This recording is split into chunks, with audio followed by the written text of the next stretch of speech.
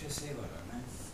Sevajo so lepo vse posod, ko so nam ravnino, cekali s potovalkami, ki ima aparaturo, grejo mi tebe, vključijo in potem izključijo, ti razbija srce, padeš dol, te čaka rešilci in tako naprej. No, sevali so me tudi na spodnji Kavči, kjer so bili te mesta. Sevali so me na Slovensko steno iz hiše Golobiča, na spodnji Kavči je okoli naokoli so hiše, ki so samo urbanske. No, to se je dogajalo tako, da najprej ugasnejo luči v hiši. To pomeni pač ob desetih zvečer se ugasne luč vsepovsod po celi bajti in potem so pripravljenosti, kdaj boš ti šel spat.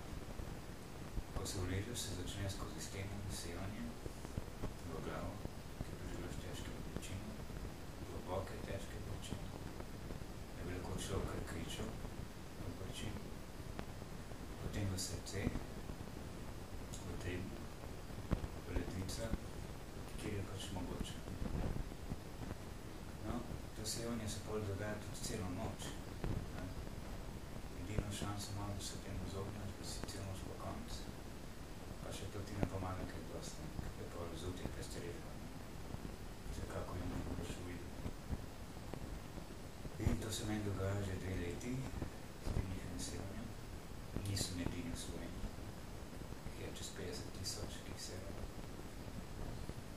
In ta človek, Golobič, v ulici Sebov, njegova oranžna hiša, me je pregnala pred šestimi meseci ven iz Sevanjem, z grožnjami, celo z rešilcem, ki ga je organiziral komandir policijske postaje Črnomelj, kjer so štirje sovi agenti sedeli v avtu in sledili meni in čakali, da bi kje na samem dobili in me pograbili.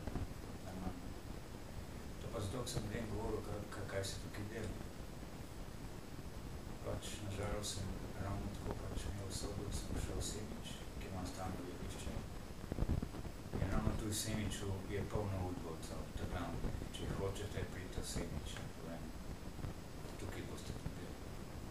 Če hočete dobiti psihotronično orožje, psihotronične topove, sevalne naprave, imate pri Golobiču.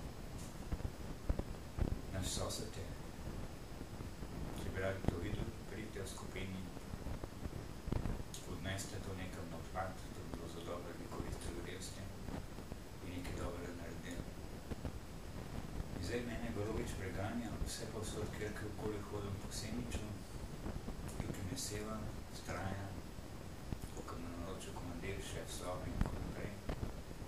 Ampak to ne bo dolgo. Ker sem se odločil, da bom gonil tega Golobiča do smrti. Ne bom prišel do pravice.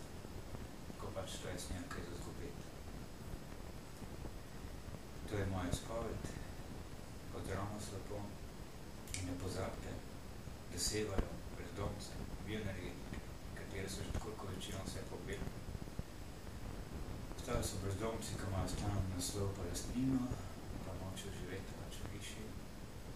Te še niso, ne, samo teh je zelo malo peščica. Potem pa še sevajo tudi tiste, ki meditirajo, ki hodijo na jogo, vse te oni sevajo skozi stene